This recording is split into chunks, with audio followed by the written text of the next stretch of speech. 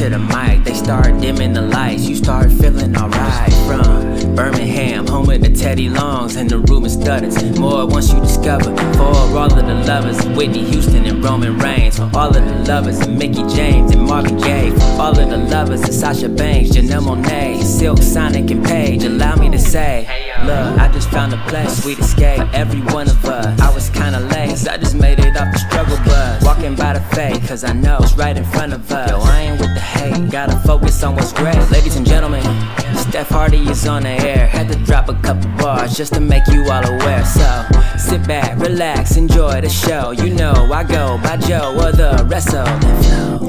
Hey y'all. Welcome to another episode of the Hardy Wrestling Podcast with your girl Stephanie Hardy. So, on this episode, this bonus episode, I have your news and gossipish, and I have a special interview with the Russian dynamite Masha Slamovich, and I have what I liked and didn't like in wrestling this week.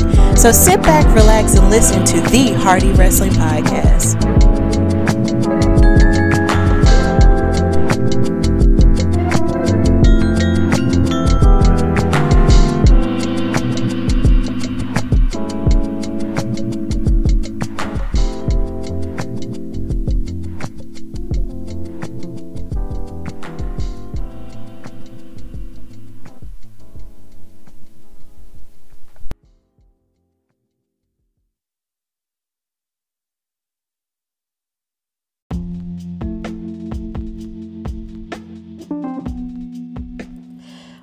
Right, so in your news and gossipish, there's a lot of cool stuff going on in wrestling for this week. So we're going to start with the news of Big E discussing when he found out about his WWE Championship win and when he was booked to get it um to get it started. So of course, as you know, Big E was Mr. Money in the Bank and he cashed in his um Money in the Bank contract a few Mondays ago to become the WWE champion and defeating Bobby Lashley on Monday Night Raw.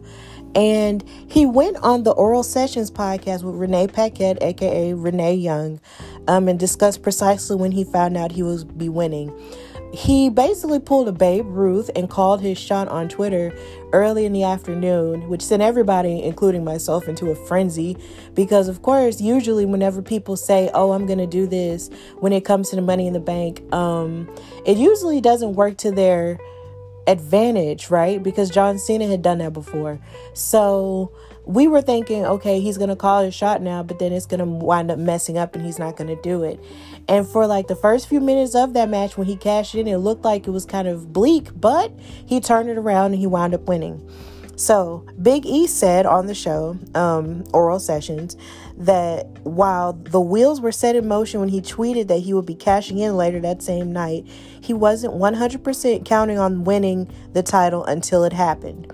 He's quoted as saying, We did the show in New York, and I was driving from New York to DC. And then I just got a call that my travel and everything was adjusted. So I was like, okay, I'm going to Raw. But it wasn't until Monday afternoon, pretty much right after I sent the tweet, that it was like, all right, all systems are go, and this is what we're doing. So, pretty much from then on, it feels like my life changed because everything has been so much more hectic. I had a bunch of people reach out and do interviews that Monday. It's like, all right, we have to do these interviews Monday afternoon. I was like, nothing's been done yet. I just sent out a tweet, but things were already in motion you know how it is in our industry. You don't really know until it happens. So I always kept waiting for some sort of swerve or a segment to run too long or something to happen where I'd have to backpedal or maybe even lose the briefcase. I don't want this to sound arrogant, but a part of me did. But a larger part of me thought there's no way this is going to happen because people would lose their minds. People would be upset. That's not good heat. That's not compelling. Oh, let me watch this. That's like, already that's like all right you've let me down once more heat now of course he went through with it and he wound up winning um, the WWE title and also retaining on Monday Night Raw in a match versus Bobby Lashley, who was hell bent on getting um, his rematch for the title because he was mad at the way he lost. But um, Big E went on to beat him on Monday Night Raw in a steel cage match, and he is um, drafted to Monday Night Raw, seeing as the draft was um this was basically tonight, Friday. So um it's pretty clear that WWE has full on intentions of keeping him, you know, on top for a long period of time um, as the WWE champion. And I'm just really happy that he's in this space where he can fully enjoy and bask in um, the glory, no pun intended, um, of being a champion. And now he can go on to face, you know, newer people on Monday Night Raw. So, again, congratulations to Big E for that. Also in the news, we have the announcement of AEW's um, Jon Huber Legacy Foundation. So, um, AEW released a statement on September the 29th, basically um, the same day that they were having AEW Dynamite in Rochester, New York, which was the hometown of Brodie Lee, who sadly passed away last year. Um, they they released a statement talking about Jon Huber's um, Legacy Foundation that was started by his wife Amanda Huber and his brother. So in the statement, it says. On the same day, All Elite Wrestling AEW makes its debut in Jon Huber's hometown of Rochester, New York. His family and friends are announcing the creation of the Jon Huber Legacy Foundation. The foundation will focus on providing support to people in creative fields who have not taken the next step in their career because of family obligations. Jon almost gave up on his dream of wrestling because of his family, said Amanda Huber. But he got the call to move up to WWE while we were in the hospital with our first child. I can't think of a better way of honoring his commitment to family and his career than to help other people who are facing the same dilemma. Beginning in 2022, the foundation will select a group of creative individuals to support with resources, connections, practical skills, and direct funding. The cohort will meet throughout the year to learn from experts in areas including business planning, artist management, public relations, brand management, finances, and IP law. These skills and connections will help them provide for their families while also helping them pursue their dreams. Many artists and wrestlers are never taught how to manage their finances, investments, and assets in a way to make sure their family is secure, said Chris Huber.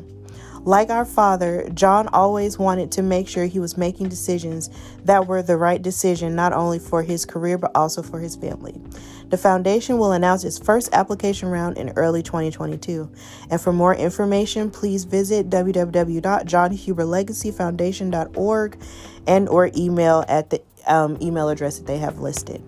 So, this is a beautiful way to honor the legacy of Jon Huber, aka Brodie Lee, in the sense that he there were so many people who when he passed away who talked about how passionate he was about his family how much he loved his wife amanda and how he was all about his two boys and I think this is a beautiful way to honor, you know, that legacy of him loving his career, but not only, you know, loving his career, but also loving his career and his family at the same time.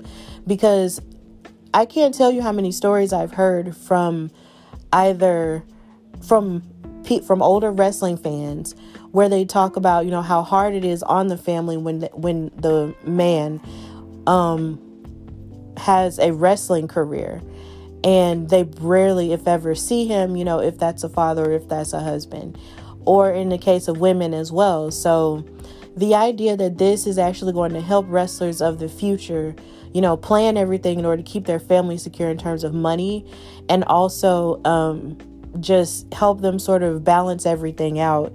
It's just absolutely wonderful. And in the name of Brodie, who is just an amazing human being, it's just great.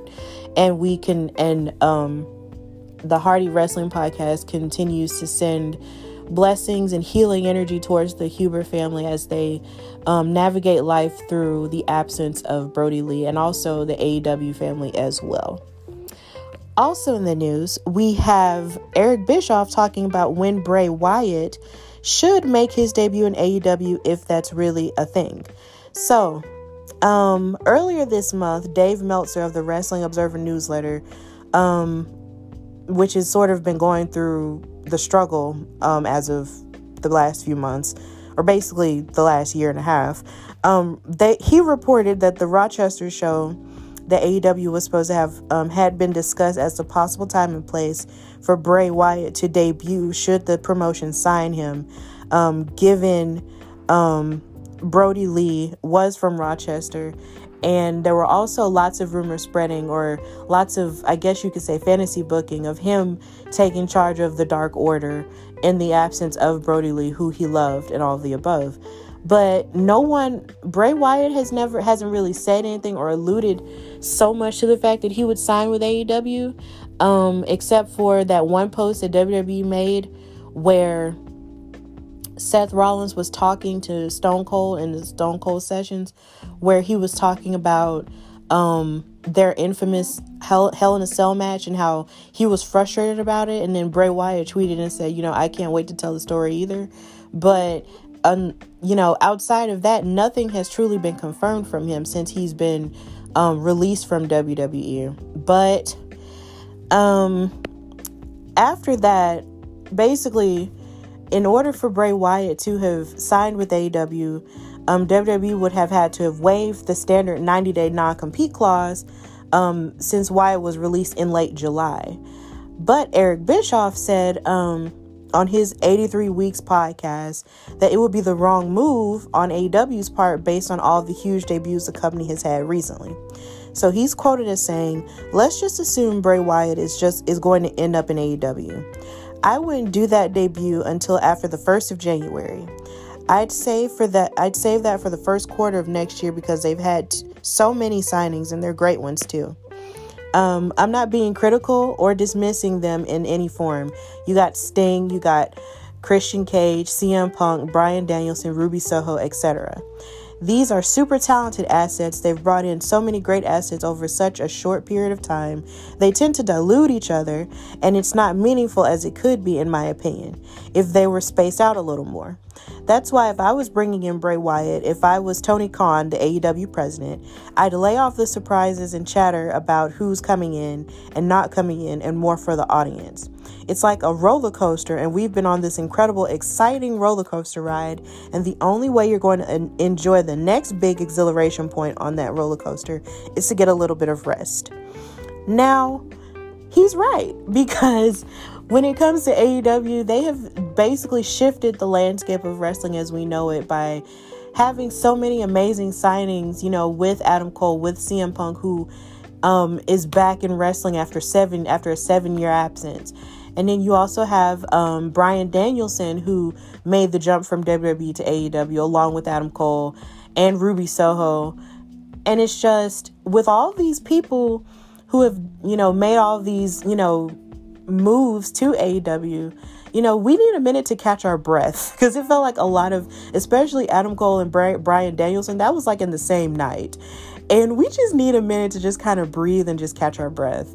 So if they are going, so if Bray Wyatt is going to go to AEW, which I wouldn't mind if he does, um, yeah, I guess saving it till maybe de- to the end of December till maybe January wouldn't hurt. Um, but yeah, and then you have someone like Eric Bischoff saying this because he's you know, he's Mr. Controversy creates cash and he basically helps WCW successfully beat WWF a long time ago.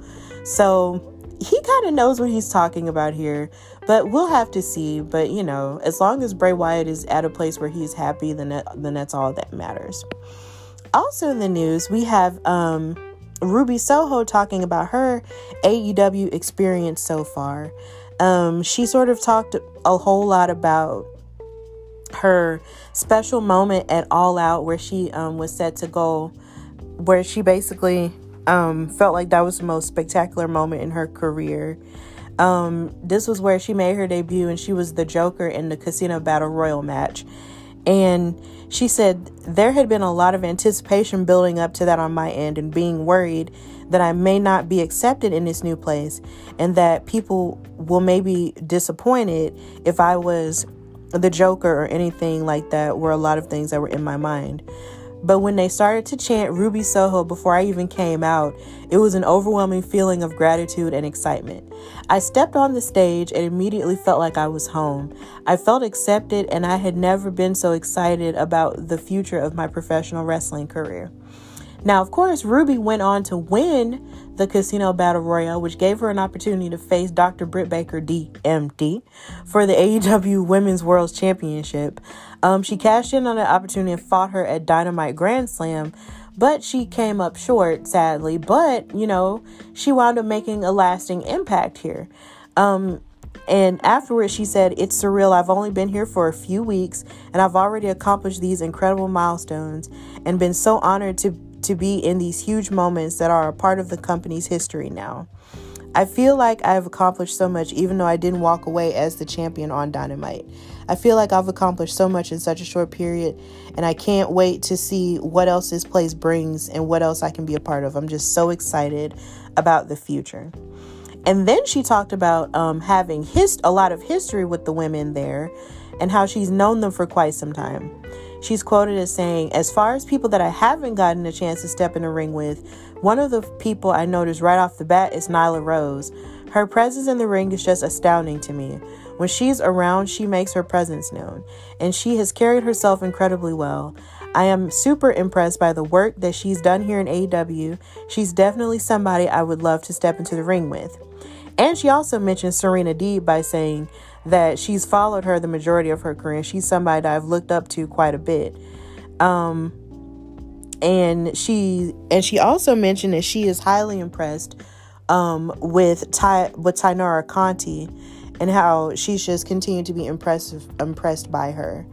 And she's also said that she notices that AEW is different and the reason why it's different is because they have such incredible fans that um, that is in the on the roster and they are the most authentic version of themselves. And she talked about how that energy is just kind of infectious because they're at the happiest that they've ever been or at their peak.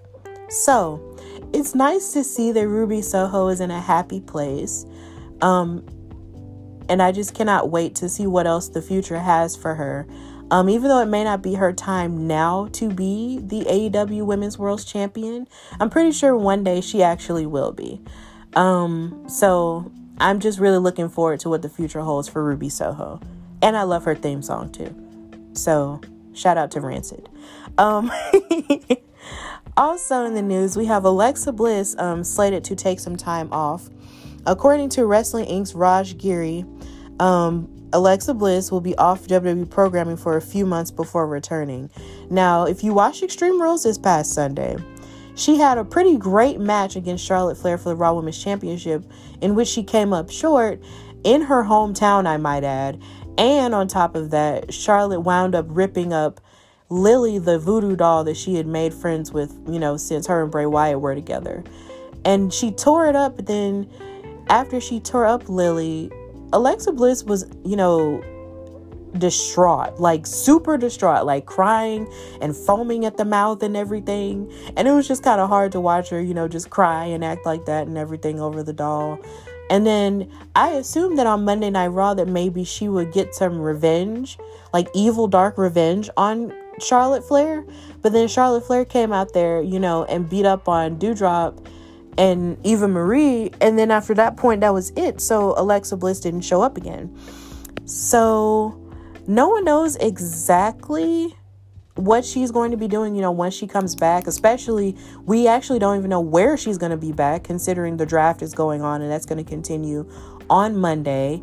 So we don't know exactly where she's going or who or what persona she's going to have. But if this is going to be sort of like the end of the Alexa Bliss persona, which a lot of people are predicting that it is on social media, then it would have been a great turn for her because I feel like you have to be really talented to go from being, you know, a pixie happy person to an evil valet person to basically a mean girl champion, you know, for as, as long as she was, to a whole new character with Bray Wyatt and sort of being his, you know, muse or whatever. And you know, just doing all that. I, I that's very admirable. Like she's just a really great performer in that way. So if, you know, Voodoo Alexa is gone, then I'll be a little bit sad about that. But it's okay. But whatever she chooses to do, I'm pretty sure it'll be cool. Maybe she'll be taking time off to plan her wedding. I don't know, you know. So she is engaged, so we'll see what happens, but you know, it's okay.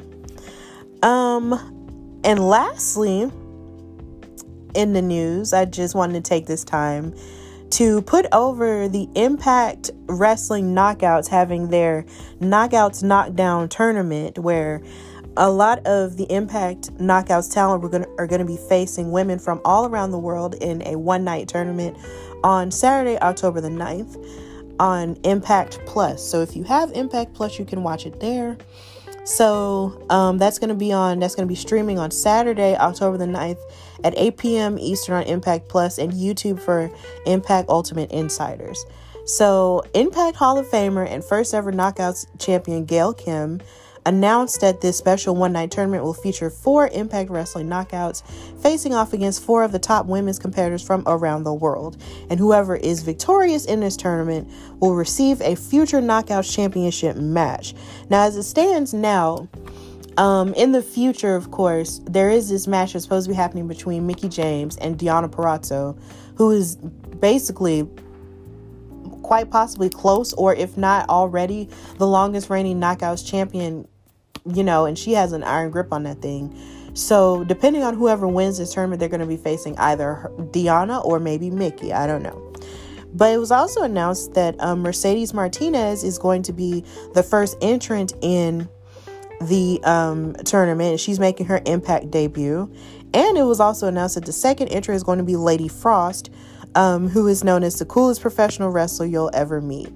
And Renee Michelle announced that she will be she is the third entrant in the Knockouts Knockdown tournament as well. So basically, some of the best in women's wrestling, you know, all around are going to be in this thing, and it's really exciting. So if you are a supporter of women's wrestling, please check that out and just invest into the future of women's wrestling outside of the big, big really big promotions. And that's all for news and gossipish. And now we're going to go to our special conversation, well, my special conversation with Masha Slamovich.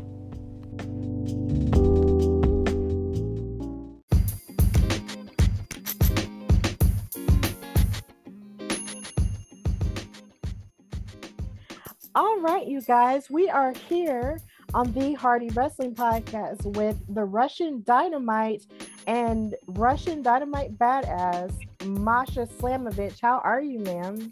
I'm doing good. How are you? I'm doing great. So I'm really glad that you're here because ever since I met you at um, the NWA Empower Weekend, I just had like I just had it in my mind that I just had to have you on the show because I just loved your performance. So I'm just really happy that you're here. Well, thank you for that. I'm glad to be here. Yeah, definitely. So I'm going to start by asking you when did you fall in love with wrestling? When I was a little kid, like pretty young. Okay. So you you were just knew like right then that that was what you wanted to do?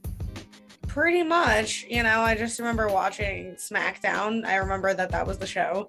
And you know, within like 10 minutes, I was like, yep, this is it. This is what I'm meant to do. okay, cool.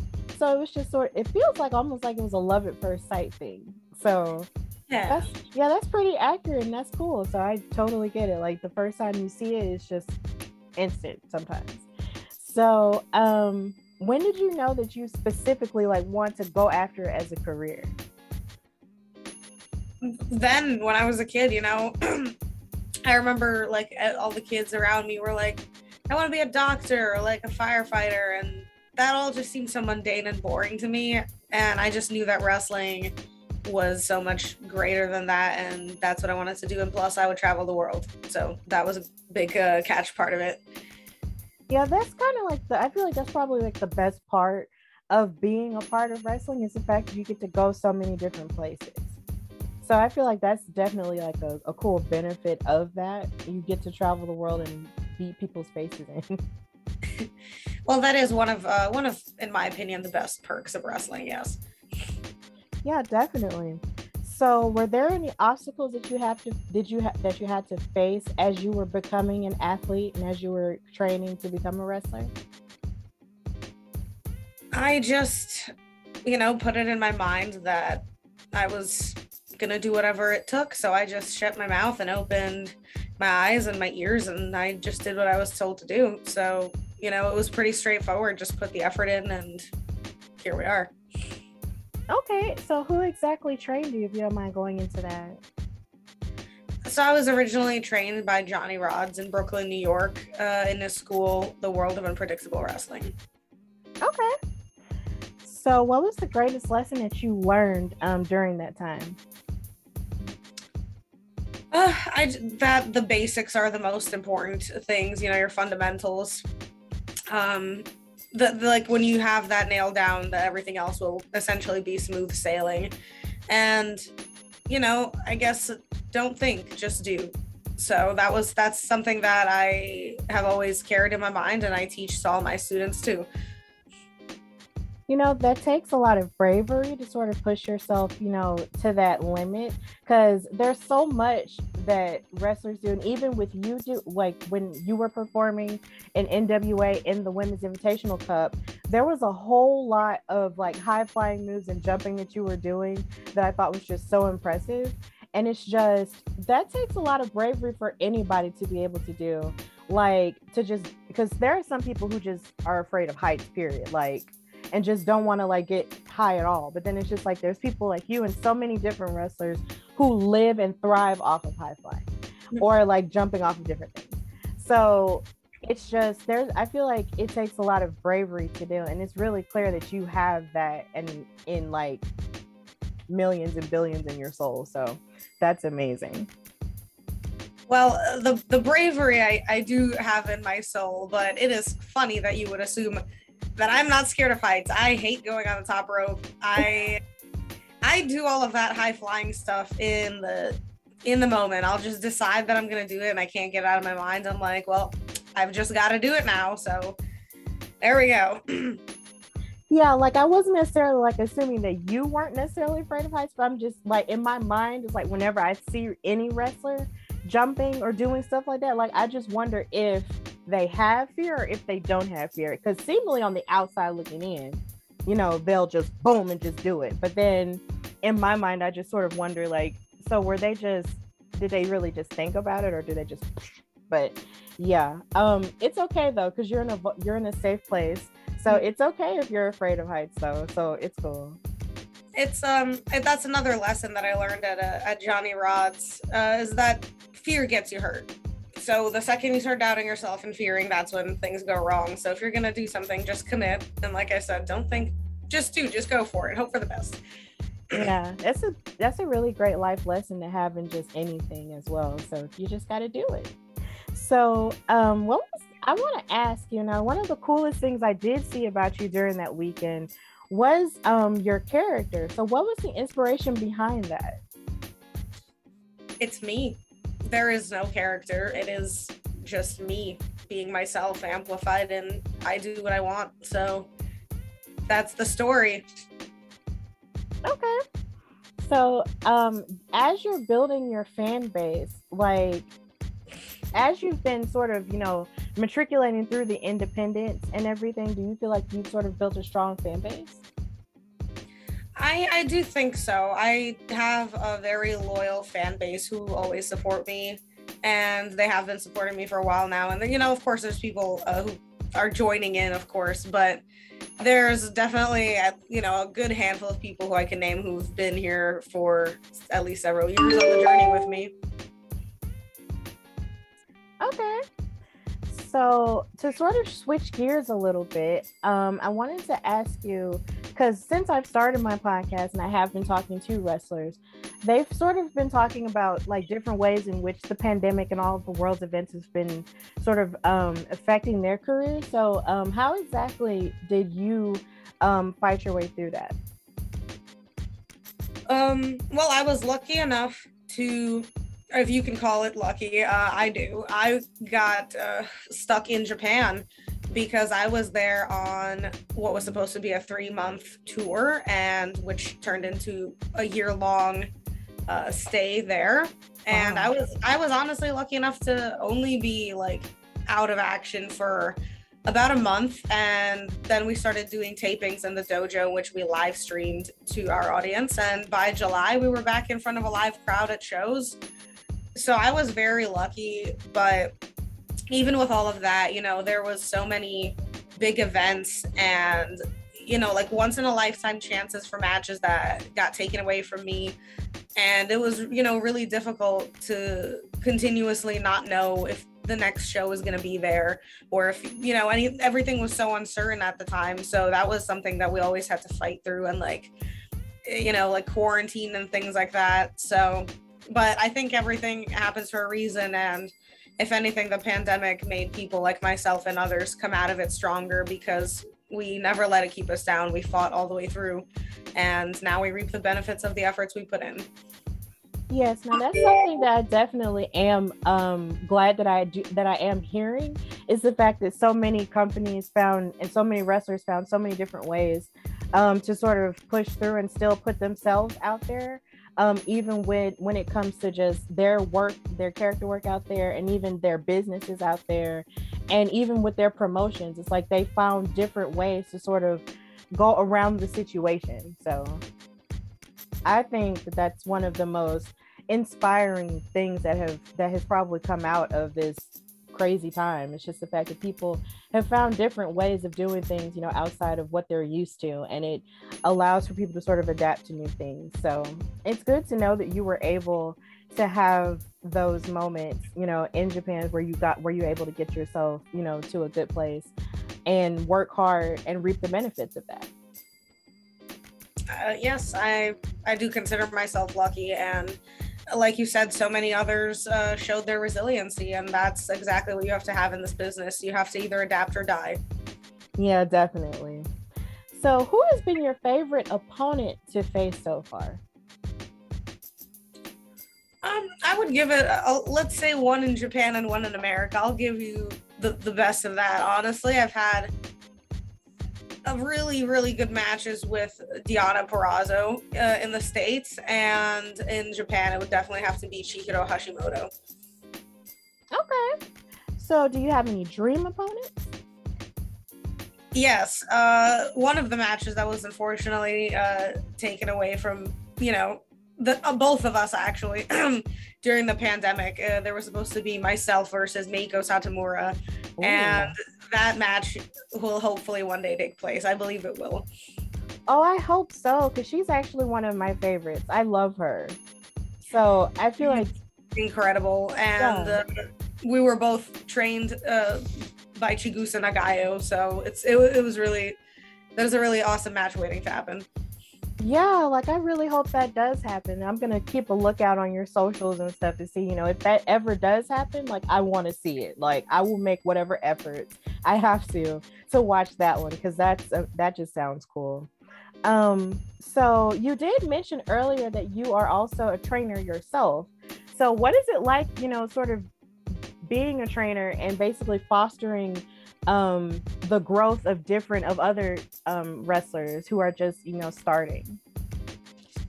And it's one of my f- most favorite and rewarding experiences uh, especially because two of my current students were also my students in the last school that i coached at and they followed me to the new school. So i've been training with them uh, again since the moment i got back uh, in january and just to see the progress and to see you know the learning to see it all click and come together and to see the way that wrestling inspires people and it and it makes people feel is really beautiful and to know that i'm helping train the next generation of wrestlers. Now i'm not a teacher but and I'm not a wrestler myself, but I'm just a fan who's sort of finding her way in sort of in the professional landscape of it all because I'm just a, a wrestling talker. But I know that the first time I commentated this year, and one of the most inspiring things I did see was seeing wrestlers who had just started out. And there was this one woman, her name is Kaylina Keene. Um, she's from Buffalo, and she started out, and I believe when the event that I was commentating for, she said that that was like her third match, like ever. And I remember just feeling so emotional that day because I was just like, man, like there are people out here in this in this wrestling world that aren't necessarily like veterans. Like these are people who are there are people who are have only been wrestling for maybe three years, maybe five years, or people who are really just started like maybe a year ago. And they're finding their way, and it is just the most beautiful thing because you can see their love and their passion for it, and it's just so palpable. So I know that if it felt palpable to me and I just met her that day, I can only imagine how it feels for you being a trainer and actually having a hand, you know, in that growth. It's it's really awesome and like I said it's you know rewarding. We all put the hard work in together and you know, I believe in being harsh and stern, but it's for your own benefit. And once you finally, you know, start getting it and it all clicks, well, then we all start reaping the benefits together. And it's one of my favorite things to see uh, growth and evolution and to see the light bulb go off in people's minds. Definitely. So, speaking of, you know, it's so funny you said evolution. Um, it's just when I think about, you know, you and when I first saw you, which was at the most which was at NWA's Empower, which is a historic event um, in women's wrestling and basically professional wrestling as a whole. Um, it's just you were there with so many great women, you know, in the indies and also from on a really high professional level as well. Um, and then you it was produced by Mickie James and so many different, you know, women who are just greats in this business. How did it feel to get that call, you know, to be a part of something like that? Like, what did that feel like?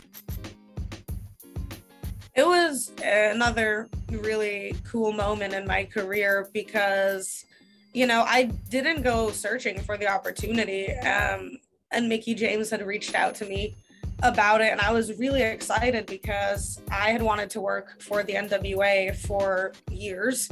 Um, you know because of their history and it's so rich and interesting and now to be a part of that history is one of my personal uh, greatest accomplishments in my opinion. Um, and you know just being there was it was really incredible and it was an emotional night and it was just art in my opinion you are just as right as you can be. Like wrestling is art. And so funny you said that because I was watching a video earlier this morning where somebody was describing wrestling as art. They were comparing, weirdly enough, they were comparing hip hop music to wrestling. And he was talking about how wrestling basically is an art. And I was, and it's so cool that you said that because I feel like a lot of people have this mindset towards it that they feel like it's either which is I which I think is an insult. It's like they either call it fake or they feel like it's not an art. But in my mind, I feel like, you know, it is. So it's just so honestly, I feel like Empower really was, you know, a beautiful artistic, you know, beautiful moment for women's wrestling as a whole. And just to see so many women like you and like Sahara Seven and Renee Michelle and so many different women being a part of that and Tootie Lynn, who I had on the show a few weeks ago, um, be a part of something like that. Just it was just a beautiful thing. And I'm so proud of all of you. Thank you. And I do agree that it was a really uh, it was an incredible experience to share that locker room and that stage with all of the women uh, like you named Tara Seven, Ray, Michelle, and many others who were there that night. You know, Chelsea Green, Leyla Hirsch. I can go on and on. Yeah, definitely. So, as a women's wrestler, have you ever heard or has anybody ever brought any misconceptions or disrespect towards women's wrestling to you and how were and how were you able to um, push past that in your own career?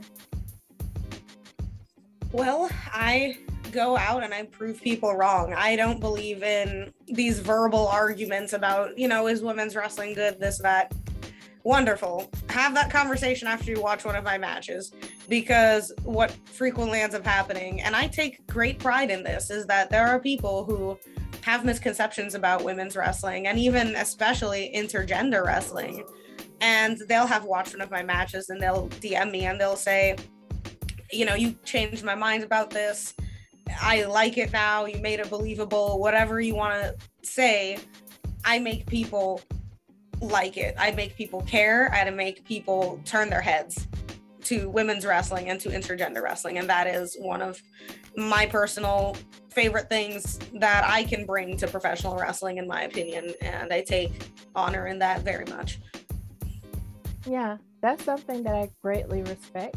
So, I mean, I know sometimes when it comes to even intergender wrestling, a lot of people be like, uh, but, or they kind of just drift away from it because it might make them uncomfortable but there are just some people there are a lot a lot of wrestlers who women's wrestlers who feel comfortable with that and they don't care so you know that's that's exactly uh, one of my opinions because sometimes fans will start speaking up and saying, "Hey, that you shouldn't have done that," or start getting into their own opinions of, "Oh, was it right to do that?" Well, you know what? It's not your goddamn place to have an opinion on what I will be doing in a professional wrestling ring, unless you're a wrestler. Enjoy it from the other side of the guardrail. Exactly. Very strong feelings, and I appreciate that. So, um, if ever given the opportunity, would you sign with a mainstream company? Well, you guys are just going to have to keep an eye on what's going on for that question to answer itself. That's a good answer. I, I respect that. So, how exactly do you feel about the state of wrestling as a whole? Um, and what do you think could be better? And what do you think is good that's happening? First of all, I think wrestling is absolutely on fire right now. Uh, you know, all it takes is for you to take a look at what happened at the last AEW. Uh, the kind of matches that we saw for for you to tell me a year ago or two years ago that that was going to be taking place, I would have told you to stop stop taking any drugs or taking because that is insanity. And 2021 is completely unpredictable. I mean, there's things that we couldn't even dream of that are taking place right now. And I think going into 2022, we're just going to continue to have our minds blown by professional wrestling. You know, everything's intertwined, all the doors are open, and you never know what the possibilities are. Yeah, definitely. I, I feel like that's one of the best parts about it is like there's so much happening at a time that as a fan it sort of makes your head explode because there's just so much so much good stuff all around. Um, so it's just there's always something new to see every other week or something new like every other day sometimes. It's just an ever evolving thing this year. Like I, it's almost like because last year everything was just so so tame. It's like this year everybody was like, all right, it's time to go balls to the wall. And they did everything. As it should be. It is it is absolutely beautiful to see this boom or renaissance or whatever you want to call it of professional wrestling and independent wrestling and all wrestling around the world. You know, you ask me what the negatives are. I can sit here and bitch and moan about things that are wrong, but why why do that when we can focus on all the positives because the amount of good things going on in wrestling right now definitely outweigh the negatives. Definitely, and I agree. I definitely agree with that. So, outside of wrestling, what are some of your um, favorite hobbies or other things that you like to do? Well, I am definitely an avid athlete, so I enjoy running and weightlifting, but you know, that kind of goes into training for wrestling. Uh, so I suppose my hobbies would be more training in uh, Brazilian jiu-jitsu and I'm learning to play the drums. So that's what's that's what I've got my time being consumed with when it's not professional wrestling. I wish I had time to learn how to play the drums. Like, oh my gosh. Like if I had more time to learn how to play that type of that that instrument, I would be so happy. It's it's really it's really awesome. And uh hey man, maybe we'll see you in a band one day. oh, I definitely feel like you would you would definitely fit in a band. Like that would be really cool. You never know what the future holds, right? You really don't. you really don't. So, who are your top five wrestlers, whether they be male, female, or non-binary?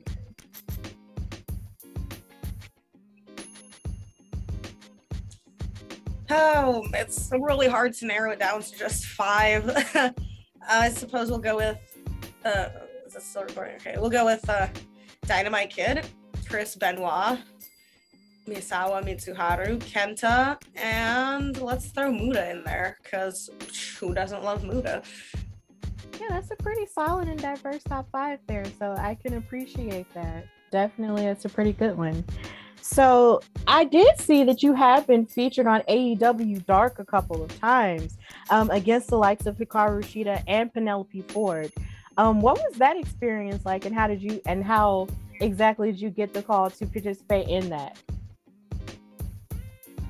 Both of the times that I were there were lovely experiences. And like you said, I wrestled both Penelope Ford and Hikaru Shida respectively, which uh, I had a great time in both of those matches. And uh, I had wanted to work Hikaru Shida for quite some time. So I'm happy that got to take place in 2021. Um, as regards for how I got the call, the first call, the first time for the the match against Penelope Ford, I found out like two days in advance, and I wasn't even in my home state. I was in Philadelphia training at uh, Cheeseburgers or see what, what cheeseburger, right? I'm like, how he changed his name? I don't know his new name. Um, I was at a school and I just saw the email and I was like, man, I gotta get home tomorrow, back to New York, and then drive all the way to Pittsburgh. But I mean, as you can see, I made it happen, right? Yeah, definitely. I feel like even in the times where we did, you know, speak to each other, you did you do make a lot of stuff happen and it seems like you're a very wanted woman. So and I see why. Like it's you're perfect. So definitely like I was really proud that you had that op- opportunity on AEW Dark. And I was just really excited too because I was just like, "Oh my god, I know her." So, yeah. well, thank you for that. And uh I do try to keep myself quite busy and I am very work oriented. So that's how I spend most of my days is trying to continue the successful climb. Yeah, um, I also saw some breaking, some other news that came out. I believe it was um, towards the end of last week, where um, there was a report that maybe AEW might be adding a secondary women's title. Um, would that be something that you would be interested in going after in the future? I'd be interested in going after every woman's title and every non woman's title as well. Okay. All right. So, what does the future hold for you, Masha? Well, we're all going to have to find out together because I say this in every interview. If you would have asked me last year to tell you all the all of this stuff was going to happen, eh, you know, it's completely unbelievable. I would have never been able to assume that these things would take place. And for me to even have any imagination of what's going to take place in the next 12 months is quite frankly unrealistic because I, whatever plans I have, wrestling may have different plans, and I just don't know where this road's going to lead. But I'm going to continue doing what I do best, which is professional wrestling. And I'm going to enjoy the journey because sometimes the journey is more beautiful than the destination. And sometimes there's not just one destination either. You are right about that. That is such a a poignant end to an interview because I can relate to that on a very deep level because I never thought that I would be doing this either. Like last year, like if you had told me I'd be doing this and talking to people like you um in NWA and so many, you know, and meeting so many amazing women in wrestling, like if you told me that like in January of last year, I would have looked at you like you're crazy. Like, come on, stop. Um, so you do have to enjoy the journey and where it takes you because you just never know where everything can take you. Like it, it can be like a crazy what if episode. You just never know. Life is fun. but thank you so much for coming on the Hardy Wrestling Podcast. So you can take this time to tell everybody where they can follow you on your social media handles and tell everybody what you got going on. Well, you guys can all follow me on uh, Instagram and Twitter at Masha Slamovich. And for all of my upcoming shows and exclusive releases and all the random stuff I put out, join me on my Patreon, which is also Masha Slamovich, um, for all of the awesome content there. And if you're interested in t shirts, there is Pro Wrestling Tees forward slash Masha Slamovich as well. Thank you so much for coming on the Hardy Wrestling Podcast.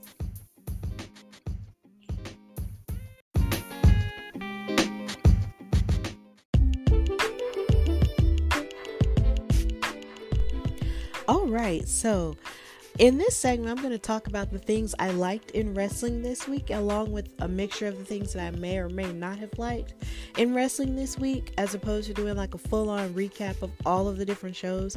Because for Monday Night Raw, there was only so few clips I saw until I went to sleep because I was really tired and I worked. Um, so yeah, so with Monday Night Raw, I liked the idea that the Hurt business seemed to be reforming even in the absence of MVP, who is currently injured. Like, I'm really happy that that is happening. And I really feel that this, that one of the worst things that happened this year in wrestling was them breaking up in the first place. So the fact that they reformed to sort of serve as allies to Bobby Lashley, who was angry that he lost his WWE Championship to um, Big E. And then, of course, the New Day was behind him, you know, and having his back back as I always do. And being by his side, even as Adam Pearce scheduled for Big E and Bobby Lashley to fight in a steel cage match at the very end, um, was really cool too. And just seeing them, you know, collectively have each other's backs and everything, even though Bobby Lashley is clearly a heel and that's well defined. Um, it was still good to see all of that black excellence in one um, full sitting. And I was really happy that Big E um, retain the title because something that did kind of scare me is that I saw enough of Raw to know that I know that Goldberg made a whole um, promo talking about how he was going to come back and exact revenge on Bobby Lashley for hurting his son. Um, which he has every right to do because yo, like you really put your hands on my son. Um, and I was thinking, oh my God, what if Bobby Lashley wins the title back and then he fights Goldberg and then Goldberg wants to fight him for the title and then um, at Crown Jewel, and then he wound up losing to Goldberg. And I was really scared half the time, but I was still glad that Big E um, retained that they're actually going full throttle on a push for him, as opposed to just you know slapping it on Bobby just so Goldberg could have something to take from him because Goldberg's time, you know, as a champion has truly passed. Um, so yeah, that's one thing um, that I did like was the fact that Bobby and Goldberg are going to fight without championship implications and without um, ruining Big E's momentum as a champion. And, you know, the fact that Biggie has officially been um, drafted to Raw um, makes it a lot better too. But I'm also wondering how that's going to go with the New Day, considering the New Day, um, Kofi and Xavier have been drafted to SmackDown, and they've separated the New Day yet again, um, in a less dramatic fashion, but yet in still a very horrible fashion to which everybody reacted to tonight on SmackDown, and it was just kind of sad. So, um. So does this mean Biggie is just gonna fight on his own without any allies? Like, or does this mean he's going to cross over or what? There's a lot of questions going on with this draft and um I'll probably get into it a little bit more later, but that was something a few things that I liked about Raw. I think one more thing that I did like about Raw was the fact that um um Doudrop had a little bit of a moment versus Charlotte Flair, but she wound up retaining her title anyway. So but then the the best thing about it was the fact that Shayna Baszler is now coming out and injuring women just for the sake of injuring women. And it's almost like she's developed this character where she's sort of, you know, feeling bad about it because the first person she did this to was Nia Jax. Um, and it seems like she felt guilty about, you know, injuring these women and breaking their arms on the steel steps, but then she's still going through with it. Like, it's like she's a remorseful abusive person and it's just so weird but i love it. So i don't know if she's going to do this to all the women but i hope she doesn't do this to bianca belair who is now officially on the raw brand um, as of well after crown jewel but as of tonight she's announced as a draft pick on raw. So yeah like i just like creatively most of most of the stuff that they're doing with the women i actually kind of like so I'm not necessarily mad at any of that. So that's pretty much all the stuff that I liked um, on Raw. And I also, well, one more thing that I really like is the fact that um, Humberto Carrillo and Angel Garza are now an official tag team. And I feel like that was like a no brainer to me when, because when they first announced that those two were cousins, I was like, oh, well, why don't they get together? That was like maybe two years ago. And now it's 2021 and now they're actually a tag team. And I feel like it's probably the most personality that I've seen Humberto Carrillo have in like a long time. So hopefully this will work for him because he's really talented and he just deserves, you know, to have more of a personality and maybe Angel Garza can bring that out of him. And I'm just glad that um Angel has something to do because he's super talented as well. He was somebody that I pegged, or a lot of people pegged, that could have been the next Eddie Guerrero. Um, but all of that kind of just got pushed to the side ever since Andrade left, and so many other changes happened. So, yeah. Um, that's pretty much all I like to happen on Raw. And then on NXT 2.0, which has been either rubbing people the wrong way or people have been liking it is the fact that it was a very female driven show even though the commercials that they were showing for this episode of NXT 2.0 were a little bit on the kind of not overtly sexual but just kind of like on a va va voom side more than NXT's women's division has been in the past and I don't know if that's a good thing or a bad thing because you know, NXT's women's division is probably one of the, well, was, or basically, technically, is one of the best divisions that, you know, exists in terms of women's wrestling on the planet. So it would kind of be weird for all of that to kind of just be thrown away or pushed aside all because they're trying to appeal to, um, I guess, a more younger or hipper demographic or whatever by trying to sort of kind of sexualize them, but not sexualize them to the point like in, in the divas era. But um, yeah, that part was a little bit weird, and I give a shout out to TK Trinidad for actually mentioning that. Um, but I did mention um that they're probably doing that because Mandy's new faction with Jacy Jayne and um, Gigi Dolan is called Toxic Attraction, and a lot of something and a lot of what they're doing is kind of like you know hot but crazy kind of thing going on.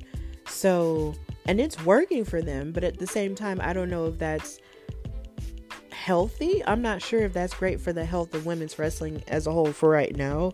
Um so i don't know. It's a little bit weird and especially since they're it looks like they're positioning mandy rose to be next in line to face raquel gonzalez for the title but I just don't know how that's gonna go. And even though Mandy Rose has gotten better, you know, with her wrestling skills since she's gone to NXT, um, and stuff, it's just like, I mean, this might be good for her because she's never had a solo title before, so this might be a good step in the right direction for her. But I just don't realistically see how she would beat someone like Raquel. But we just have to wait and see, I guess. Um, and then another thing that I liked that happened on NXT was the fact that they were showing um Index's honeymoon. And you can tell they're really really in love with each other. And they're just having a good time while Johnny Gargano and Candice are following them. And it's just kind of weird. Like why are you following them? They need to have their privacy as a married couple um chill out and it's just really funny you know they're just I feel like Johnny and Candice are basically just being the parents that they're going to be in the future. Because Candice LeRae is pregnant in real life. So I feel like they're going to be probably really excellent parents. But I doubt very seriously that they'll be like the type of overbearing parents or helicopter parents. There we go. Um, that they are playing on television, but I still think it's funny.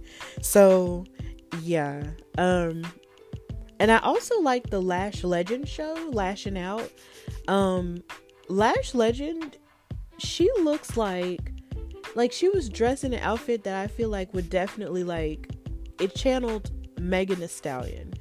And I'm pretty sure at some point maybe she will fight. Um, but at the same time, her as a talk show host was pretty cool and I actually liked that. So I'm actually looking forward to seeing that a whole lot more and I liked how a lot of people online were ta- were taking pictures from her um show and actually placing themselves in it like Jobber Tears did. Shout out to them.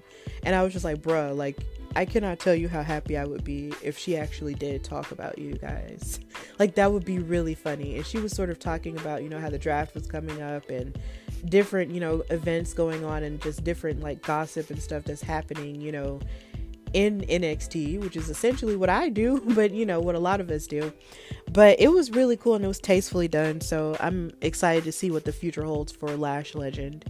Um and I loved how Trick Williams got into the face of that tag team and I forgot the tag team's names, but they were like they kind of look like, you know, country like they're country boys and um when they came out and they were talking mess at Trick Williams, at Trick and Carmelo Hayes, and at MSK, um, Trick didn't take too kindly to that. And He said, "Man, if y'all get y'all little I think something along the lines of Mamby Pamby and um Cotton Eye Joe head ass.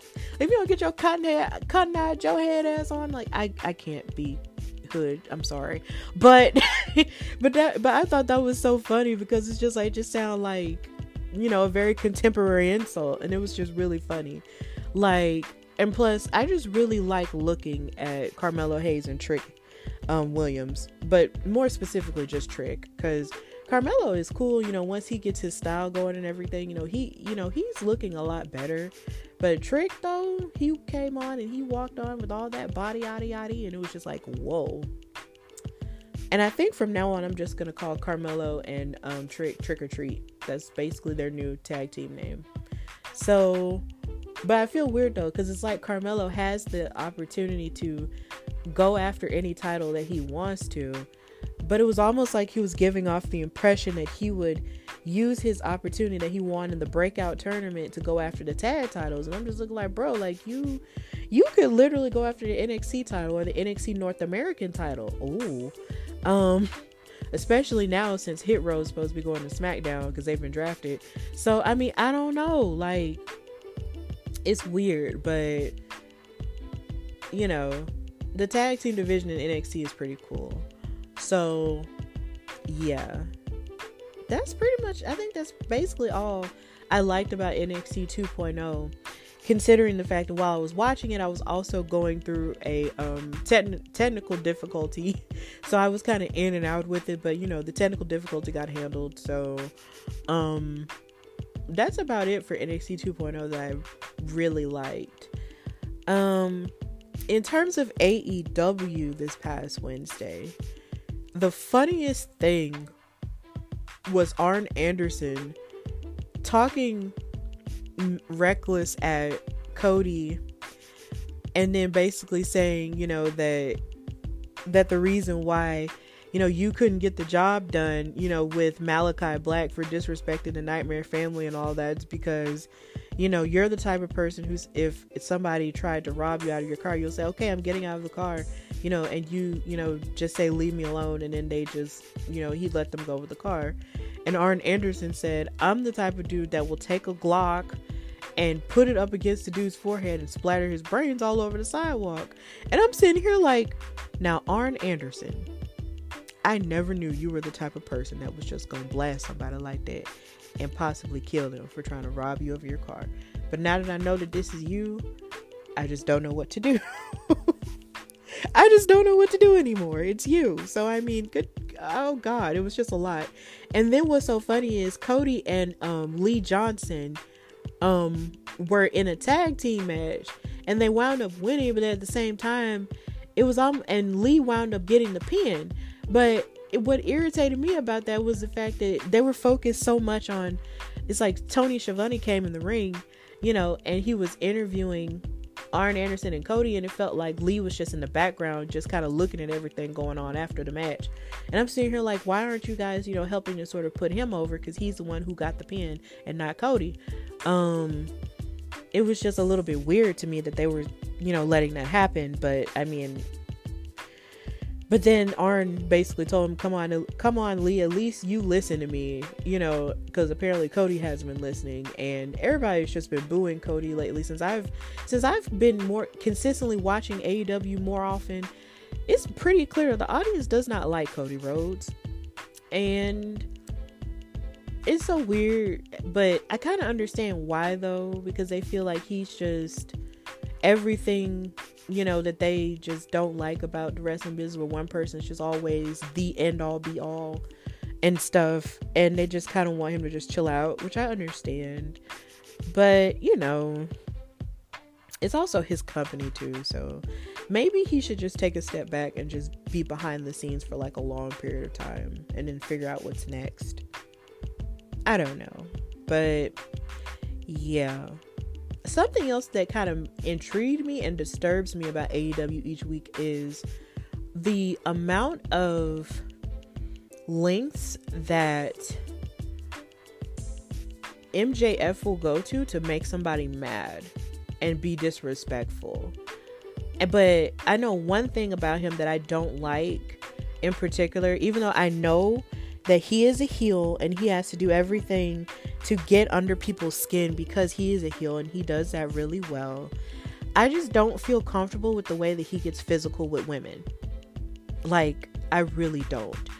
Um, abuse is something that I just do not respect at all from any point of view from a man doing it to a woman or another man or a woman doing it to a man or another woman. Like, I just hate that.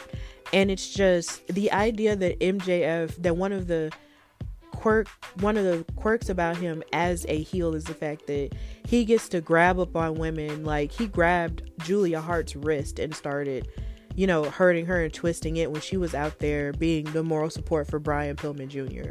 And then he even pushed he pushed the referee Aubrey Edwards during his match with Chris Jericho at All In, All Out, All In, All Out, All Out. But, and I'm just sitting here like, how is anybody just sitting here okay with it? Like, it was disturbing me, but yet I saw nobody talk about it. I'm not sure if this may be his first or second time doing it or whatever, but I just don't like it and it just makes me very uncomfortable. I feel like there are ways to be a heel without you being disrespectful to women and being abusive to women. Like, that's just gross. And yeah, it's just a problem and I just really wish that they would stop it cuz it, it's just it's just giving it's giving misogyny and toxic masculinity and everything else that's bad. Um and I just don't like it. But he got into Darby Allin's face and mentioned the death of his uncle and how he was in a car with him. And that made me so sad because I'm just sitting here like, you're really mentioning this right now? That's so terrible. Like, that's just really, really terrible. Um, but Darby was like, "You, I'm, you're not gonna get in my head like that and all of that." But MJF is just he's just a very ruthless person. Hmm.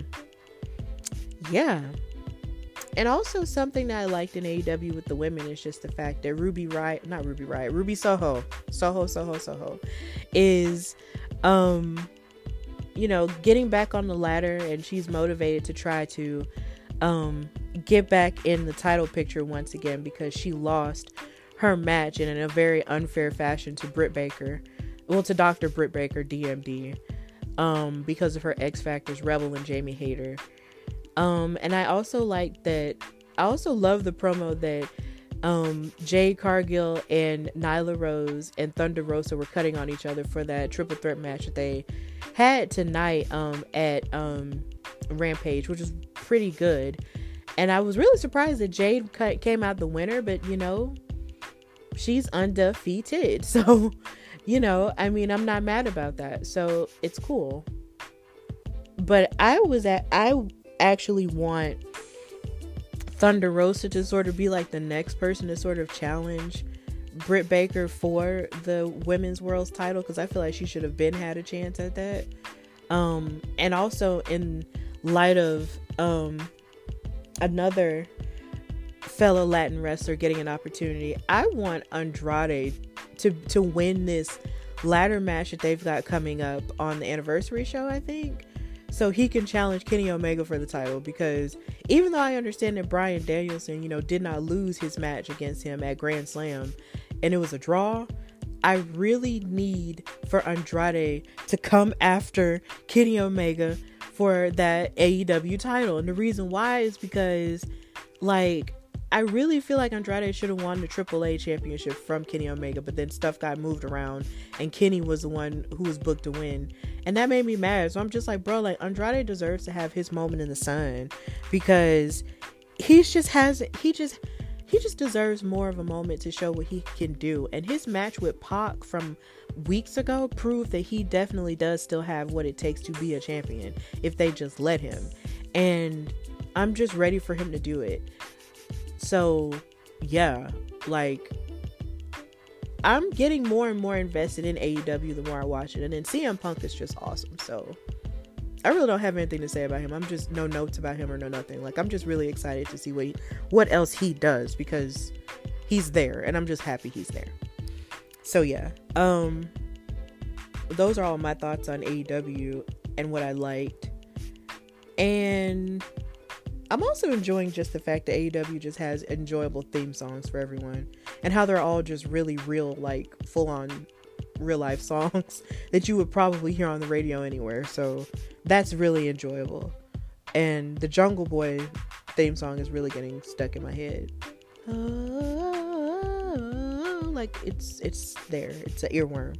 So yeah. And as far as SmackDown goes, oh my god. This WWE draft has basically just turned everything upside down.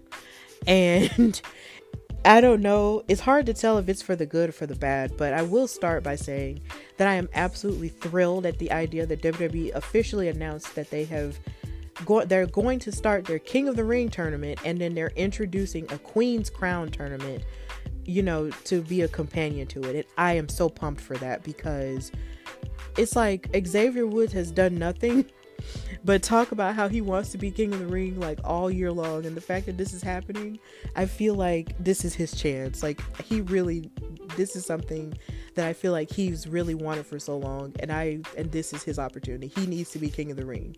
There needs to be a face king of the ring and it needs to be him. Like seriously. And i would say the person that i'm pushing to possibly two people that i'm pushing for to possibly win queen of the ring well three actually um, not Queen of the Ring, but Qu- the Queen's Crown tournament would either be Liv Morgan, Naomi, or Zelina Vega, simply because of the fact that I just want to see Zelina Vega win something great. And I feel like as a heel, if they're gonna go with like another heel, um, I don't want to say another heel because this is their first time doing this. What am I saying? If they're gonna go with like a queen's crown person and someone who could embody that, I feel like if given the chance, Zelina Vega really could, you know, let that go and actually unleash, you know, a part of a level to to her character that we have never seen. And that would just work for her. And it would definitely work for Naomi because, you know, she's trying to rise, you know, up the ranks and everything. And even though she's not in the title picture, you know, as of yet, um, and she's on SmackDown now, much to the chagrin of Sonya Karen. Um, I feel like that would just be a good goal for her to try to reach for, um, to prove her worth, you know, as a really substantial women's wrestler that's still there. And if Liv Morgan were to win, you know, that would be cool for her because she just deserves some type of reward for all the hard work that she's done over the past two years in order to improve as a wrestler, you know, and have a little bit of a singles run only to be put back into a tag team with Ruby Soho slash Ruby Riott at the time, and then be kind of just by herself as the only person left from the Riott Squad now. Um, if those, if either one of those three won, I would be really happy. But I'm really pushing for Zelina Vega to be the queen, the first Queen's Crown winner. So yeah, I was really excited about that um, official announcement. Like, it's like all summer we have been talking about how we want WWE to do right by their women and give them more opportunities, and this is one of them. So I'm pumped. Um, the draft, however, that was really crazy. Um, Big E is officially on Raw now, so that's okay. But they separated the New Day again. The New Day, um, in terms of Kofi and Xavier, are now on SmackDown. Um, Bianca Belair is now on Raw even though she's still sort of currently in this tag um well not tag what am i saying in this title picture um with be with becky lynch and sasha banks who just made her return and then they fought in the main event of smackdown but it felt like even though the match was really good, it just felt like Becky, even though it was meant to be that way, it felt like they were taking all the attention off of those two girls in the ring and placing it all on Becky Lynch. And then after the match ended and Sasha Banks took advantage of Bianca Belair being distracted by Becky Lynch, Charlotte Flair came out there and basically beat up on everybody. And she held up her Raw Women's title as Becky held up her SmackDown Women's title because Charlotte has been drafted to SmackDown even though she's a Raw Women's Champion. And I'm just like, so you basically just took the two women who gave you one of the most historic moments of the past five years, um, and easily a match of the year candidate in that WrestleMania main event. It's like you took them and basically just scrapped them and had and treated them like they weren't important and t- tossed them aside, all for the sake of propping up Becky and Charlotte. the two the main two white the main two girls of the four horsewomen. And mainly the two the two horsewomen who aren't of color. And you basically tossed out your black women just to proposition them up as champions. And you wonder why people get disengaged. But either way that was that that was kind of distasteful to me. Like that that just sucked. Um it just seems like all the black women just have all everybody pressed. It's like bianca and sasha had becky pressed naomi had sonya Karen pressed like and she was like, I didn't pick her for SmackDown, but she's drafted to SmackDown. And I was just like, girl, what is your problem? What is your problem? And you need to go to a counselor and get it fixed, Miss Ma'am, because I'm tired of it. She just stays speaking reckless on Naomi's name. And it's just like Naomi told her, it's like Naomi is actually way more accomplished than you. And you're just trying to sit here and be disrespectful to her. Like it just gets on my last nerves. Like i just hate you. And i cannot wait till the day you decide to stop being miss suit and go back to being you know miss hair up square up person and and naomi can actually beat your behind i just can't wait for it because everything that she that sonya deville is just giving off she's just giving off like i'm jealous of this i'm, I'm jealous of her for whatever reason but then it's also giving off a story that many black women know about as if, you know, they're a black woman is just being policed heavily for being passionate and for being who the true essence of who she is and because it threatens somebody else who doesn't understand it they want to lose their mind and just be all like, oh, well, she's doing this and it's making me feel this way, so you're to get arrested or you're to get fined and all this other stuff. And it's just annoying. So I'm just ready for Naomi to beat her butt. Um, I'm also amazed at the idea of Montez Ford still being able to fight and do so many matches with injuries. And I just really hope that he's okay. Um, ultimately. And I was really excited to see the Street Profits and Kofi and Xavier team up against um, the Dirty Dawgs and Otis and Gable. Like that was just a team of black excellence all around, and it was just really cool to see them, you know, get that win. So and then just the idea that Hit Row has been drafted to SmackDown, you know, like this opportunity is huge for them. And whoever was on Twitter talking mess about them and saying that um, their peak was only going to be at NXT or that, you know, they aren't ready and all this other mess, they can rise to the occasion. Don't be a hater all your life. Just chill and let them live. But yeah, congratulations to them. And Austin Theory has, has also been drafted to Raw, so I think that's pretty interesting. Um, so his way stuff is now over, and I'm wondering how they're gonna feel about that, or if they're gonna address that on NXT at all. But yeah, we'll see. So that's about it. Except now, Drew. Well, Drew McIntyre has actually been drafted to SmackDown, um, which is really different. And Jeff Hardy's been drafted to SmackDown. And in a stunning turn of events, Brock Lesnar is a free agent, which means he can do whatever he wants to. And he thanked Paul Heyman for it. And Paul Heyman was looking distraught backstage with um the bloodline. And I'm just sitting here like and then after he left and after Roman reiterated to him that he needs to make sure that the Usos stay on SmackDown, Paul Heyman left and then Roman told the Usos, Look, I need you to follow him to Monday Night Raw to make sure he gets you guys to stay on SmackDown. And he said, if not, you leave him for dead on Monday. And I was like, oh my God. Like Roman Reigns just carried out a hit on Paul Heyman, and it was just the most gangster thing I had ever heard in my life. And I loved it. so, yeah, it's just lots of crazy stuff going on. And I'm pretty sure, you know, you'll get more draft results, you know, on social media because I know I didn't mention all of them.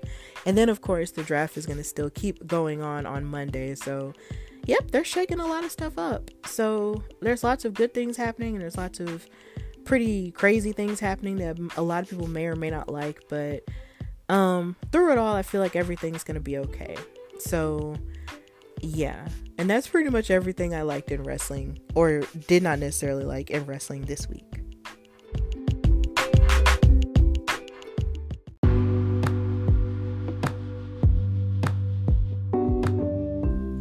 All right, so I want to take this time to thank Masha Slamovich for coming on my show. Um, the Russian Dynamite clearly has great stuff going on for her, and I just wish her nothing but the very best in her career going forward. Um, so please check her out on all of her platforms that she listed in the interview um, itself.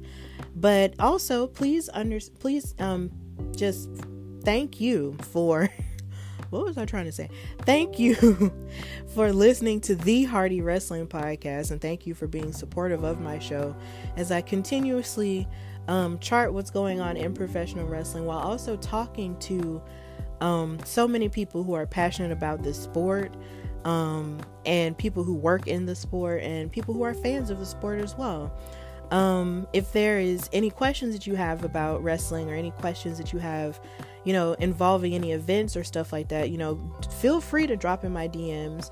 Or if you also just need somebody to just talk to, um, please just drop in my DMs and just let me know um, how I can help you in any way, shape, or form, and I will try my level best to do that and be there for you in any way, shape, or form I can. Because aside from being a host and a commentator and a billion other things, I'm a cool person. So if you ever just want to just reach out and talk to someone, if you feel like you're alone, you know, don't hesitate to reach out and stuff. So you can follow um, the Hardy Wrestling Podcast on Instagram at Hardy Wrestling Podcast and on Twitter at Hardy Wrestle Pod. And you can listen to this podcast anywhere you get podcasts um, Anchor, Spotify, Apple Podcasts, Google Podcasts, iHeartRadio, even my YouTube channel, the Hardy the Hardy Wrestling Podcast, and just anywhere you can listen to stuff like this, you can find it. And um, also check out some of the stuff that we've got going on um, for Women's Wrestling Talk, where I helped um, co-host on that team. Um, you can follow us at WW Talk Pod on Instagram and Twitter, and visit our website at www.talkpod.com and visit our YouTube channel. You can watch all of our news and interview stuff there, and also you can watch our um, Women's Wrestling Talk show every other Wednesday um, on FITE TV. So, yeah, just continue to support wrestling podcasters, you know, as a whole, because we're out here creating great content for you guys to listen to. And I hope that, you know, you just continue to find a safe place, you know, in my show where you can listen and feel safe to, you know, with all of your opinions and you can share your opinions under posts that I make and stuff like that. So, with that in mind, I hope you're being your best self and I hope you're being healthy and choosing happiness. And I hope that you're being safe because there's still a panorama going on. Um, but in the midst of that, I just also hope that you're making your dreams come true and living with no fear. So, with that in mind, this is the Hardy Wrestling Podcast with your girl Stephanie Hardy signing off. Bye, y'all.